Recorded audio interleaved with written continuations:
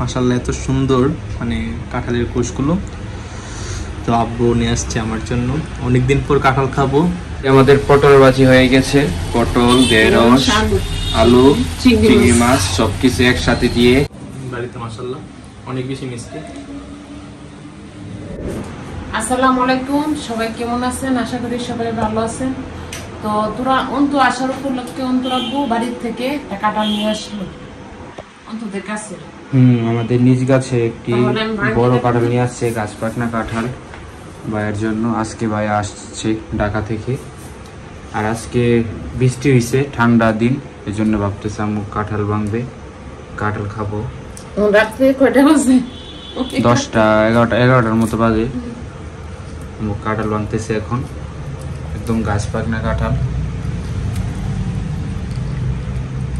কাঁঠাল দেখে মনে হইতেছে অনেক মিষ্টি হবে আম্মু না? হ্যাঁ, মিষ্টি হবে। আর আম্মু এদিকে অর্ধেকটা কাঁঠাল একদম ভেঙে নিছে আমার জন্য। মাসাল্লাহ এত সুন্দর মানে কাঁঠালের কোষগুলো। তো আব্বু নিয়ে আসছে আমার জন্য।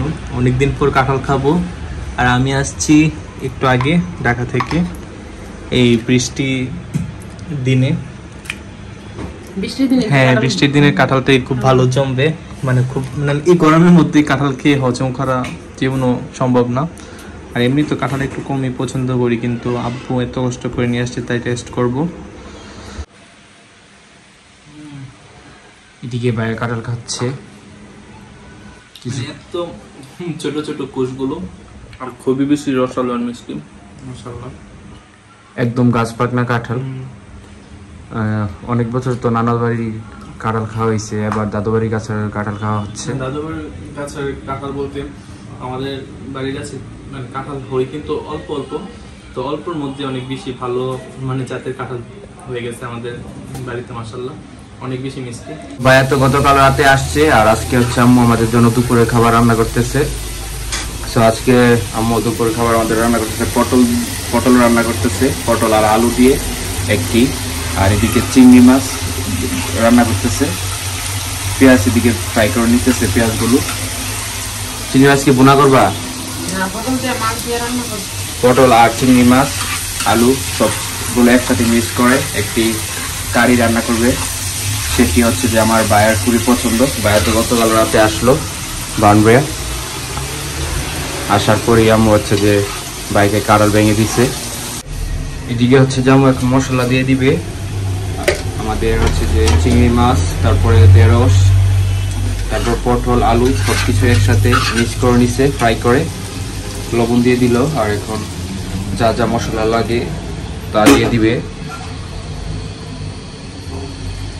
এখানে দিয়েছে জিরার গুঁড়া। ধনিয়ার গুঁড়া দিলাম, আর হলুদ দিলাম, আর এখানে মরিচ দিলাম। আর মনটাও বেশি ভালো না, আমার আব্বার শরীর ভালো না, সবাই দোয়া করবেন। আমার আব্বার জন্য তাড়াতাড়ি সুস্থ হয়। সবাই দেখছেন মনে ভিডিও তো আম্মু এই বাজিটা করে নিতেছে আর বাজিটা খুবই মজা হয়। পাঁচ মিশালি বাজি আর কি সব কিছু মিলিয়ে একসাথে করা হয়। খুবই মজা হয় বাজিটা। এখন ভালোভাবে কষানো হবে। তো এইদিকে আমাদের পটল বাজি হয়ে গেছে। পটল ঢেঁড়স। আলু চিংড়ি মাছ। সব কিছু একসাথে দিয়ে এটা হচ্ছে যে একটি বুনা বলা যায় আর কি। হুম। এরকম ভাবে আপনারা যদি সবকিছু একসাথে মিস করে তরকারিটা রান্না করেন আর খাইতে অনেক মজা অনেক মজা। খুবই ভালো লাগে খাইতে